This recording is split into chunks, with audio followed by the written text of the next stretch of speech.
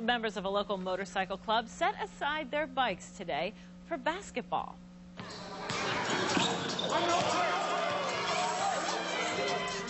The Clutch and Burn Club hosted its fifth annual charity basketball game. Each year, the money raised goes to an athletic program. This year, the club plans to donate to the basketball teams at Lake Taylor and Booker T High Schools. The kids will have money for uh, basketball camps and shoes and uniforms, and all they have to worry about is books in school.